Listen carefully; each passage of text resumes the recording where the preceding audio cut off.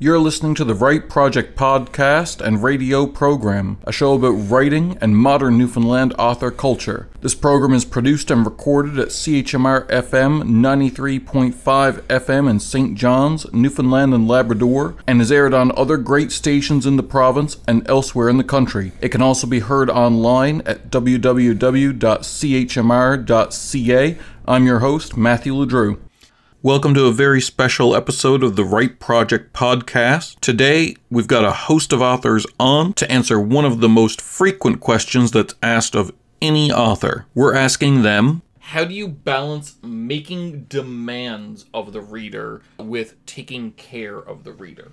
And today, to answer, we have on J.E. Solo. She recently just put out her novel Freak um, J.E. Solo, how do you balance making demands of the reader with taking care of the reader? Which I'm only realizing after taking Tracy Waddleton's class, and I, I think you know her, uh, is basically uh-huh. asking show don't tell kind of thing. Like making demands of the reader is showing them things and just expecting them to put two and two together.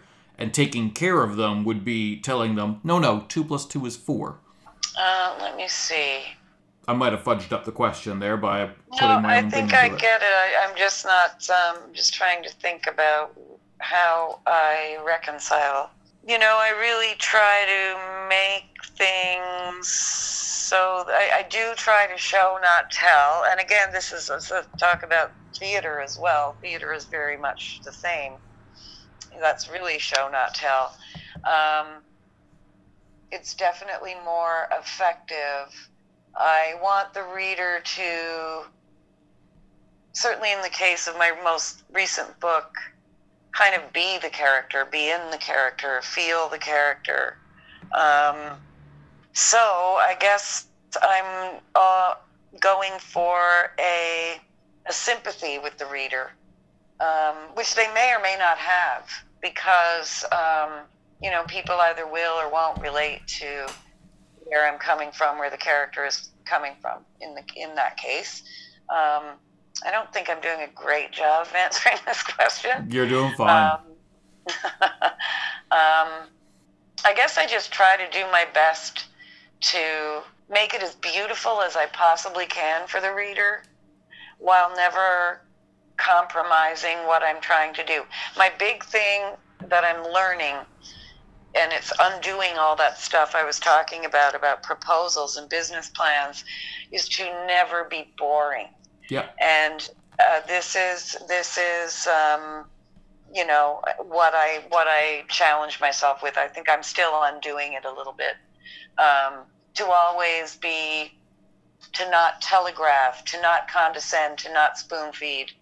Um, to not yeah so to leave lots for the reader to put together while maintaining a, a story you know that's awesome.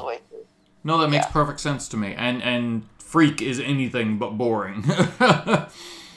Okay thanks. I appreciate that. Thank you very much. Next on the line we have Chelsea Bee author of london calling and christmas mornings this is such a weird one. Answer it however you want or not at all. How do you balance making demands of the reader uh, with taking care of the reader? And I kind of understand because, like, I do make certain demands of the reader as I grew. Like, the yeah. difference between the Coral Beach Case Files series, where I basically held the reader's hand, and, like, at the end of everything, at the end of every mystery, the three main characters would chat about the mystery and talk about what they learned and who did it and why, just for just in case someone didn't get it. Right. Like they exist to talk about it just in case someone didn't get it. In the Xander Drew series, I just be like, figure it out. Yes. Yeah. Yeah. Um. No, there's. I mean, in in romance, there's less of a demand for, you know, like in in fantasy, you know, you demand that they understand that the wizard did it, the magic exists, this is it. But I think in um, I I ask that in contemporary the readers kind of understand that like this is reality as the character sees it even if you don't agree or you don't see that you know reality as true you it's real for them which makes it real their perception is real and as well as from taking care of the reader. Uh, if you're assume if you if I want them to assume that the character is right in their and the expert of their own experience, then if it's an unreliable narrator, that makes that really difficult. So Yeah. I normally don't have those as much as I love them. Yeah.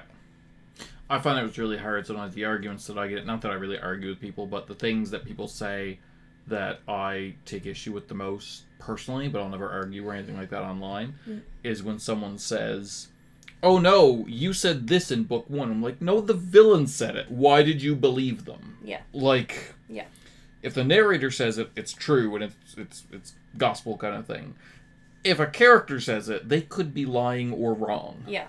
You have to assume that what the villain says is either it could be wrong or it you know, could be when I was trying to read Harry Potter to my niece and she was highly offended that um, Mr. Dursley called the witches' robes stupid because it's mean to call someone's outfit stupid and she didn't want to hear about it and I was like, "But he's the bad guy." And she was like, "But he should be nicer." Yeah, yeah, yeah. Everyone should agree with me. Thank you very much. Next up, we have the author of Alligator and February, Lisa Moore. Uh, Lisa Moore, how do you balance making demands on the reader in your fiction, this is, uh, with taking care of the reader? making demands on the reader with taking. Uh, uh, okay, how do I manage to manage? how do I manage taking care of the reader and demanding from the reader? Yeah, that balance, Well- I guess, yeah. I guess the thing is that when I'm writing a story, I often have some formal concern th- that I have set up for myself as a problem. So, for instance, there's a story I, I wrote called Melody, and in that story, I I had I had made up my mind that turning a page, 20 years would have passed, and I had done this because I'd read. Um, to the Lighthouse, where by Virginia Woolf, where you turn a page and I don't know what I can't remember exactly how many years had passed, but enough that the the main character had died, and there is no warning that this would happen. And I thought that is a very interesting narrative. Um, you know, problem to solve because we do sometimes experience time that way. Time, you know, can flick by decades sometimes in what seems like the blink of an eye. So I was interested in exploring what that would feel like and how it would form the characters and shape them. But I also didn't want to lose the reader. I didn't want the reader to go, "What? What happened?" So um, again, I think if the characters are um, flesh and blood real, and if they have conflicts that uh, you know suit the characters, in that the reader can truly believe this would actually happen to that character because of that character's particularly particular life circumstances, then I think they'll follow you anywhere. Okay. That's, thank you. That's wonderful. Thank you. Thank you. Thank you very much. Next up, we have BC Laybolt, the Canadian independent author of the 10th Lunan Regiment series, a military sci fi saga. He also writes an immersive dark fantasy series. His current titles include To Drown in Sand, Juris Lunans, To Drown in Ash, The Dog, Bone, and Upon a Wake of Flame. Um, BC Laybolt. Uh, how do you balance making demands on the reader uh, and their what you expect of them with also taking care of the reader? Yeah, so huge problem. Uh, I, I tend not to bother. Um, I, I, there are rules, right? So you've got to have a solid plot. You've got to have character character consistency. You can't Game of Thrones it. You, Yeah. you can't you can't um, like without without being too vicious. Um, uh, No, be vicious. Well, like the Game of Thrones novels, uh, I I've read every one of them. Okay, the big Game of Thrones novels, which I always like interject in, will never be finished. Well, okay, so we're gonna do this then. Yeah. Uh, I I agree with you because he's he's overwritten himself. Yeah. But the problem is, I, and I can't remember which book it was. It was it was the one where I can't remember which which number novel it is, but it was the one where. Um, Are you saying the they all blend together? No, Almost like they're quite, badly quite, written. No, No, no, no, no, no. Uh, no, I won't give you that. I, I humbly disagree with you, sir, on that one. Um, I think that they, it would have made an awesome trilogy, and he should have stopped at book four at the most. Yeah, fair. Um, okay. Uh, and he could have packed and worked everything in, and it would have been one of the most amazing series of books ever written. And I'm no one to criticize George R. R. Martin. I just simply am not. The man is a best-selling novelist. He's he's done it all. Uh, he he hit the dream. He, he you know his book was sitting squandering for in the 70s. I remember picking up the early copies and going looking at the cover and being like, "Oh, geez, I'll never read this." Um, and and bam, he hits the jackpot in HBO and everything. There's two games of throning it. One of them is what he did with the books, and it's the it's the scene when the Ironborn are unleashed, and there's this new vicious character. It's the uncle, and he's taking over the oceans. And I'm like, hang on, I'm seven books in. You just threw me a new super character. What the hell happened to Sam Tarly? And why did you tell me things were going to change at the end of that book? And by the end of the very last book that he wrote, which is 1,000 pages long, Yeah. and nothing really happens until the end when Jon Snow gets stabbed. I'll, I'll throw that out there. Spoiler warning after the after the after the fact. Um, I, I realized he doesn't. He there's too too many ants in the ant farm. He can't track all these anymore. So what he just did was kill a character at the end because he was going to pull us in. He's written two 500 page books since the since Dance of Dragons, I think it is, or yeah, it's it's the very last book. That are preludes. So he hasn't wrapped this up. He, he's written And- himself into a corner he doesn't know how to get away from.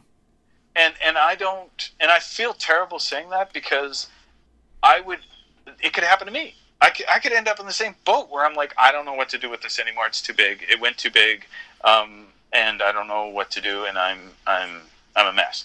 That could happen. It can happen to anybody. I get that. Um, so that's one version of Games of Game of Thrones. It. The other one is what HBO did, which is like I, I don't even want to get into that because I start to sob like a child. Um, but those are the two things I make myself avoid as I'm writing. I, I won't let myself go. I there. make myself avoid Game of Thrones season eight as well, whether I'm writing Um, or not. Yeah.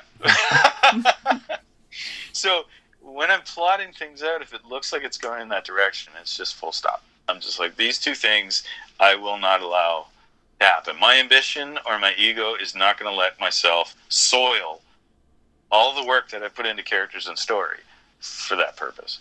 So um, I guess that's a long, convoluted answer to your question, but that's that that's where I come from. See, you know what? I got sick of Game of Thrones? Season three, and I read the books all the way through around that same point, so I I kind of read ahead of the series. So I read it all, and I kind of I don't know. I'm I'm. It sounds like we have some things different. Like I'm a slave to structure. My early stuff, I I never did structure. Like I never structured out beforehand. But afterwards, I was like, you know what? When I structure stuff, my first draft reads like a fourth draft. Like it just it just helps Sure. It, it, gets out some of the crazy, and I can still Sure. play around. I always say that like start with a structure, but if your writing takes you a different direction, then redo the structure. Don't slavishly go to it. But like, Yeah, d- but yeah, like don't, I um, don't chain yourself to the plan. Oh God, no! Don't chain yourself to the plan. That's a horrible idea. Um, but like I, I watched the first three seasons and I read all the books and I kind of just had this mental map because if you've written a lot, then I find that movies and books like you start to see like oh you see the setups and then you see the reminds so you can guess the payoff. Like most writers can guess the end of murder mysteries pretty early on and stuff like that. So I was kind of playing with it in my head and I'm like there is he's reached a point like a critical mass where there's literally no way for him to resolve all the plot threads he's created in a um, satisfying way. Like he can't he's created too many plot threads and too many characters he can't resolve it all and, and it's gonna go bad. so that was my experience reading reading the novels. Um, and it was I, I remain optimistic. I I it- it's almost like what's happening to Star Wars now I, but I think that I think that George R. R. Martin if he sits down and really really works uh, the, the the end of the series of novels um, can still pay off in a way that will forgive him for everything else. I, I, I, I and I'm not an optimistic person, but I, I believe this because this is the brain that created this world. And what carried me through it was my absolute passion for the characters that he built. That's fair. So, like, for example, Arya is one of the most. Uh, that is one character that I have cared about the most ever in my life amongst anything I've ever read. And I don't know why. I have no idea why.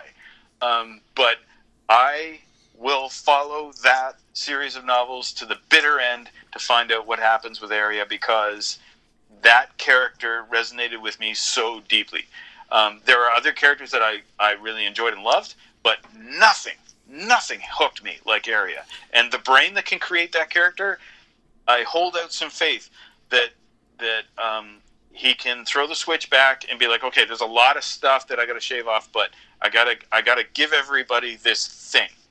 Um, and and interesting of note, they did it with HBO, but they just didn't do it with a whole bunch of other characters that were really important. And tragically, we didn't want to see what happened happen.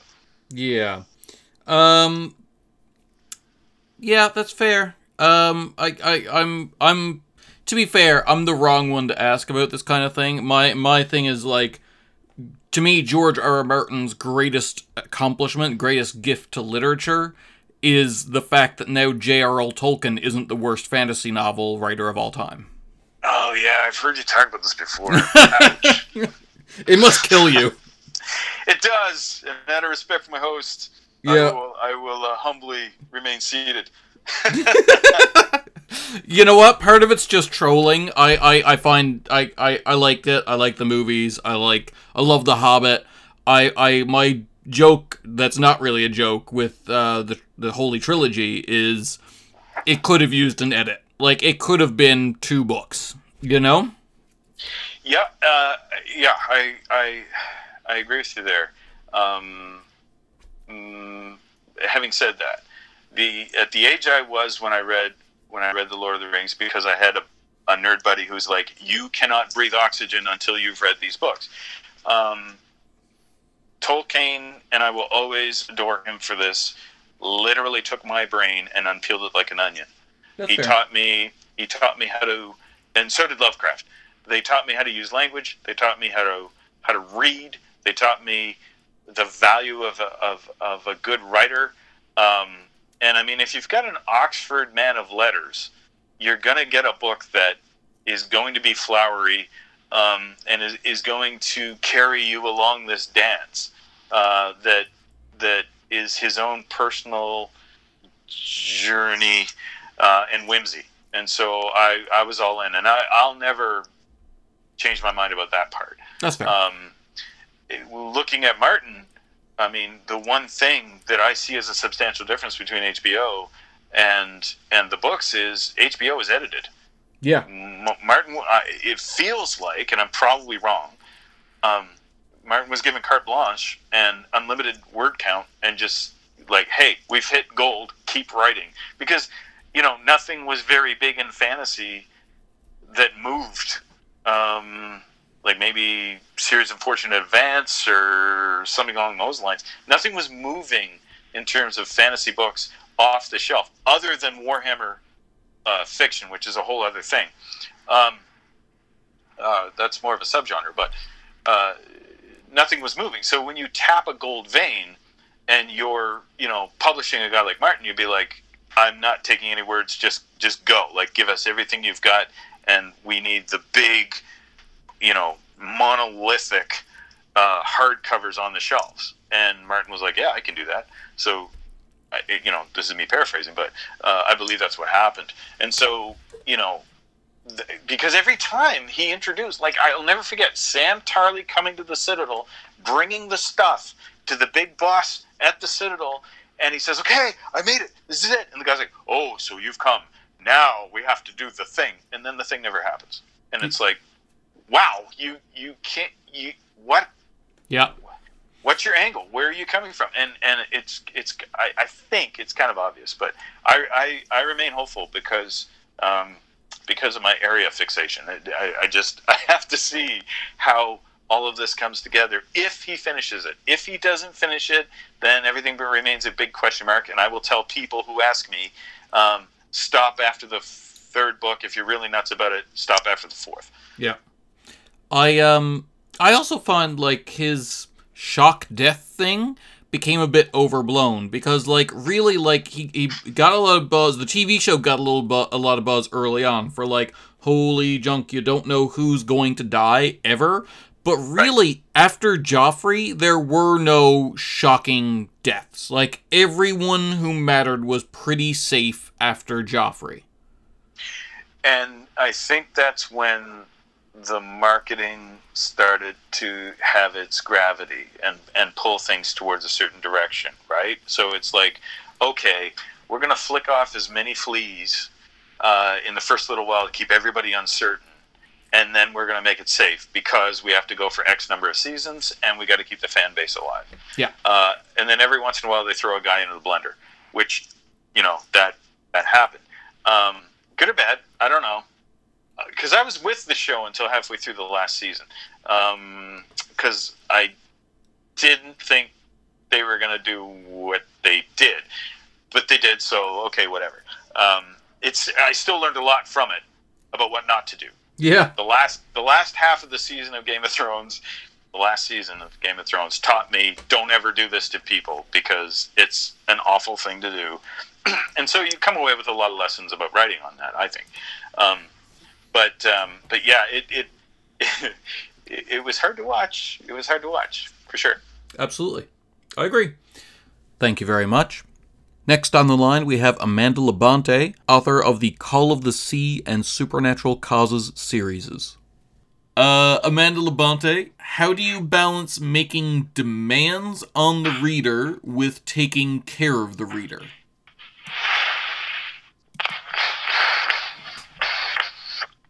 I mean, I don't know that I do.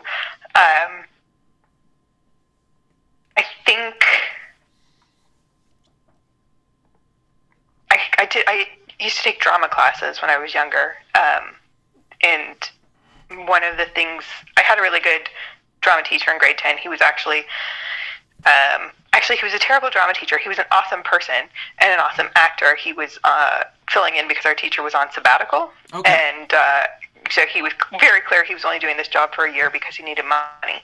Um, but otherwise, he was actually a professional actor who'd been in um, some actually like professional things like that we'd seen on TV. So it was kind of cool to have him as a as a teacher. And he always would tell us to never um, underestimate our audience. So even though like I never actually went into any sort of acting, um, one of the things like that I that stuck with me and I transfer over to writing is that I try to do. Um, and I think everybody tries to do this, but if if I'm if I was going to try and do anything, is to assume your reader can like and that you assume your reader can keep up, and don't assume you have to tell them absolutely everything. Um, Have you ever if had you a- show them, sorry. Uh, go ahead, sorry.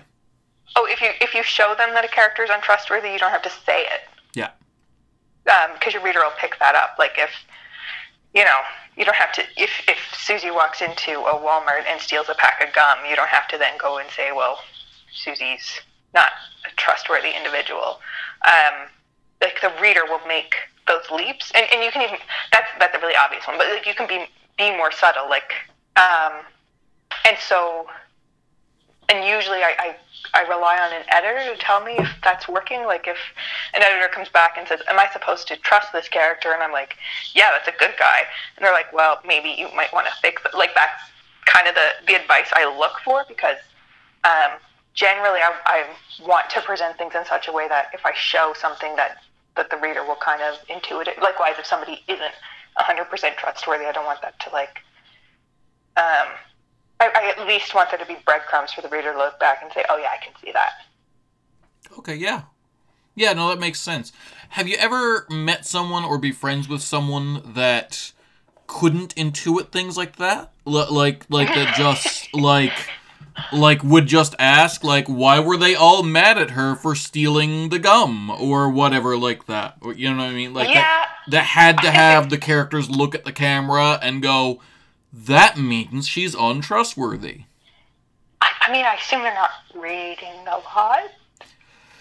That's Is that terrible to say? Yeah, that's, that's, Well, just because if you re- if you're a reader, if you're somebody who reads a lot yeah. um, of anything, like comic books, like any like children's books, like anything, like if you read a lot of of reading material, I feel like you kind of even the news, like you will kind of get that kind of vibe from from what people show you. maybe not the news. The news is more like the, the news does like I'm not de- denigrating the news, but just by the Yeah. nature of what it is, good news will just be like here is what this means, just in case. Well, I mean, if you were, but like if you read the news, then like, and you just read like an article on, if you're reading an objective news, sorry, an objective news article, and not like someone's opinion, Yeah. and you just read everything Donald Trump did leading up to the last election, and you couldn't intuit certain things about his character just from like a plain black and white read of, well, he did this, followed by this, followed by this, and he said this, this, and this. Even fair. somebody not saying like, you know, I think, I think he was maybe not acting in an ethical manner here, or maybe he was stirring up a crowd here. Like even with someone not making those sorts of statements, I think like showing action should, for most people, kind of indicate. But I mean, that's the thing. Like I'm, I'm, I'm assuming that the reader is smart enough to pick up on things, and if they're not, I'm assuming that um, they're probably not my audience. That's fair. That's fair. And, and I don't mean my audience has to be like like I'm not like a crazy super smart person. I just mean like that. I think that the type of like I think it's more annoying to an avid reader to pick up something and feel like somebody is over explaining something to them than it is for somebody who doesn't really want to pick up a book and find that like oh they can't follow along to it. Like I just I I, I don't want to offend the reader. I feel like the worst for me, like in this um, avenue, like in this train of thought, and I deal with this a lot in my writing classes. It's something that I always pick up and go, no, no, no, this needs to be fixed. Is when the character's actions make you intuit one thing about them, and but then the writer chooses to tell you what to think of them, and it's the mm-hmm. opposite. And that's where your editor should really save you. Yeah, like it's one thing to show, it's one thing to tell. It's one thing to show and tell opposites. And and that's because I write out of order, so sometimes I really super rely on an editor to tell. Because sometimes a character evolves as I write, Yep. and I, I super rely on an editor to say like the voice, like their voice changed here, like that's. I don't think they talk like that, or you know, this isn't consistent with how they met, or you know, I really rely on them to kind of point out that my cues don't match anymore, or Yep. beta reader or whoever you're using, and I think that's because writers make mistakes. Yeah, really? Yeah, that's a thing. But and I'm not I'm not perfect at it, and that's the thing too. Like I, it's what I try to do. I try to not underestimate my reader because at the same time too, like I'm not like a rocket scientist. I'm not presenting them with theories that are like crazy hard. Like you know, I'm not writing at like a a crazy postgraduate level. Like yeah, I think the average reader is pretty savvy Yeah. Yeah, I agree. because I'm the, I'm I'm just the average writer, so Yeah. I'm not trying to create something that can't be understood. Yeah, for sure. Uh, um, good answer. All right. Well, thanks for coming on again. For all of you, we'll be here again next week at 4:30 Newfoundland time or online at chmr.ca. Please tune in and we'll talk more about writing culture in Newfoundland.